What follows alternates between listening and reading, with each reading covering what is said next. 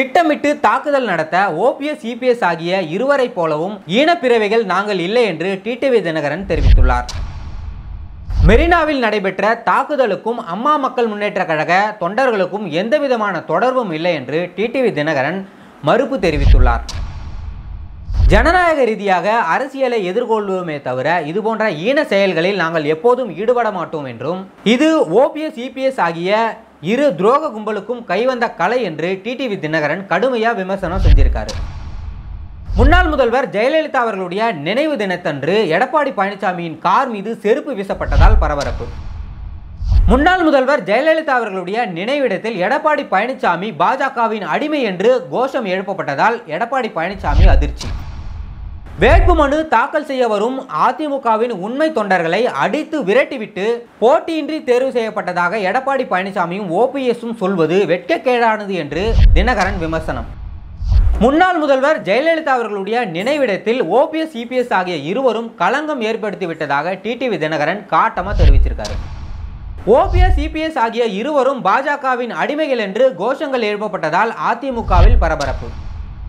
அதிமுகவின் தொண்டர்களையே ஆள் வைத்து அடித்து விரட்டும் ஓபிஎஸ் இபிஎஸ் மீது குற்றச்சாட்டு. அதிமுக அலுவலகம் தற்போது குண்டர்களுடைய கூடாரமாக மாறியிருப்பதாக டிடிவி தினகரன் குற்றச்சாட்டு.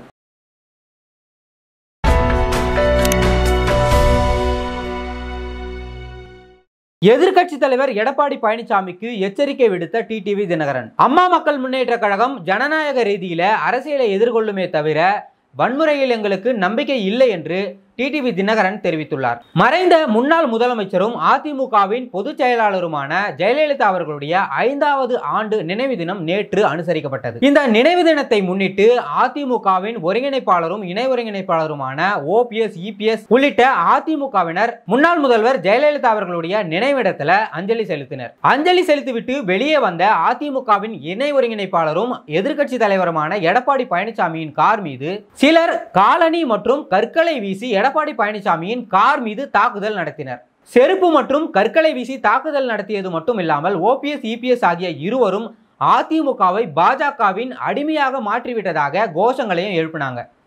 இதனால அந்த பகுதியில பரபரப்பு ஏற்பட்டது. இந்த தாக்குதலானது அம்மா மக்கள் முன்னேற்ற கழகத்தை சேர்ந்த கட்சியினர் தான் திட்டமிட்டு நடத்தி இருக்கிறார்கள் என்றும் இந்த சம்பவமானது அம்மா மக்கள் முன்னேற்ற கழகத்துடைய பொதுச் செயலாளர் டிடிவி தினகரனுடைய தூண்டுதலின் பேரில் தான் நடந்திருப்பதாக அதிமுக அம்மா பேரவை துணை செயலாளர் மாறன் என்பவர் மெரினா கடற்கரை காவல் நிலையத்தில் புகார் அளிச்சிருக்காரு. இந்த நிலையில எம்ஜிஆர் ஜெயலலிதா எனும் மிகப்பெரிய ஆளுமைகள் துயில் கொள்ளக்கூடிய புனிதமான இடத்தில் இப்படியெல்லாம் நடந்து கொள்வதற்கு அம்மா மக்கள் முன்னேற்ற கழகத்தில் இருக்கக்கூடிய தொண்டர்கள் ஒன்றும் தற்போது அதிமுகவில் இருக்கக்கூடிய துரோக கும்பல் கிடையாது என்று டிடிவி தினகரன் காட்டமா தெரிவிச்சிருக்காரு. இது தொடர்பாக அமமுகவின் பொதுச் செயலாளர் டிடிவி தினகரன் ட்விட்டர்ல ஒரு பதிவை போட்டிருக்காரு. அந்த பதிவுல அவர் என்ன சொல்லியிருக்காருன்னா அதிமுகவின் ஒருங்கிணைப்பாளர் மற்றும் இணை ஒருங்கிணைப்பாளராக இருக்கக்கூடிய எடப்பாடி பழனிசாமி ஓபிஎஸ் ஆகியோர் மீது என்னுடைய தூண்டுதலின் பேரில் தான் தாக்குதல் நடைபெற்றுள்ளது என்று அதிமுகவை சேர்ந்தவர் ஒருவர் என் மீது காவல் நிலையத்தில் புகார் அளித்திருப்பதாக செய்திகள்ல பார்த்தேன்.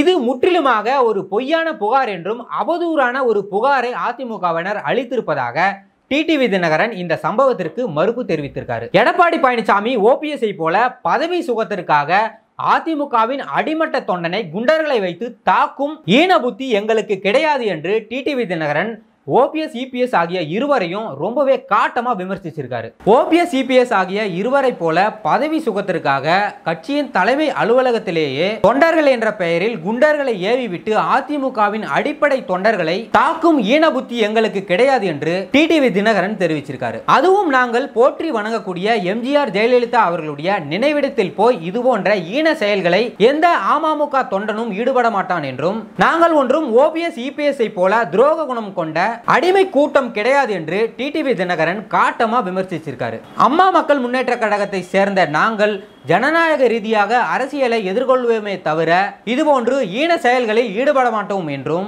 தற்பொழுது நடந்திருக்கக்கூடிய இந்த சம்பவத்திற்கு ஓபிஎஸ் இபிஎஸ் ஆகிய இருவரும் தான் முக்கிய காரணம் என்று டிடிவி தினகரன் குற்றச்சாட்டை வச்சிருக்காரு. ஓபிஎஸ் இபிஎஸ் ஆகிய இருவரும் பாஜகவின் அடிமையாக மாறி போனதன் காரணமாகவே அவர்கள் மீது தற்போது இந்த தாக்குதல் நடைபெற்றிருப்பது அனைவருக்கும் தெரியும் என்றும் ஓபிஎஸ் இபிஎஸ் ஆகிய இருவரின் செயல்பாடுகளால் விரக்தி அடைந்த தொண்டர்களால் தான் இது நடந்திருக்கும் என்று டிடிவி தினகரன் தெரிவிச்சிருக்காரு. இனிமேலும் ஓபிஎஸ் இபிஎஸ் ஆகிய இருவரும் தங்களுடைய செயல்பாடுகளில் மாற்றங்களை செய்யவில்லை என்றால் இதைவிட பல மடங்கு அவர்கள் விளைவுகளை சந்திப்பார்கள் என்று டிடிவி தினகரன் தன்னுடைய கருத்துக்களை தெரிவிச்சிருக்காரு.